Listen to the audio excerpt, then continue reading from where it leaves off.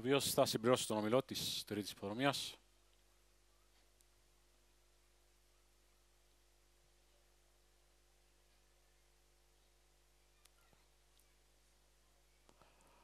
Οδηγείται και ο Diamond Chris. Υπέβη και ο Δημήτρης Κεφάλας. Πάμε για την εκκίνηση τρίτης υποδρομίας.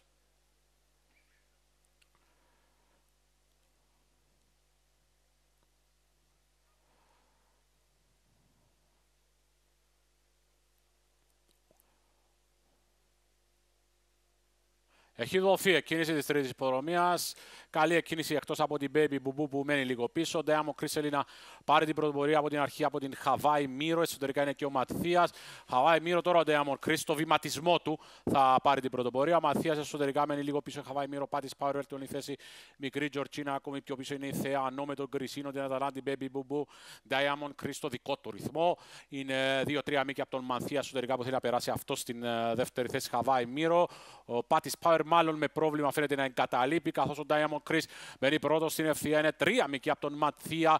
Πιο πίσω είναι η Χαβάη Μύρο, είναι η μικρή Τζορτσίνα και ο Γκρι είναι εσωτερικά.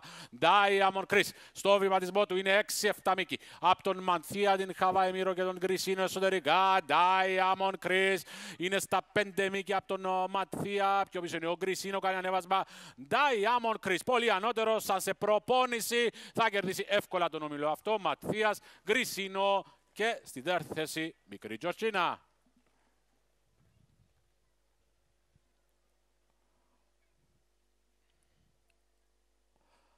Εδώ Diamond Chris. Ε, το μεγαλύτερο φαβορή, όχι πιθανότατα της μέρας, αλλά ένα από τα μεγαλύτερα φαβορή της χρονιάς. Στο 1 ευρώ το μερισμά του. Θα κερδίσει πολύ εύκολα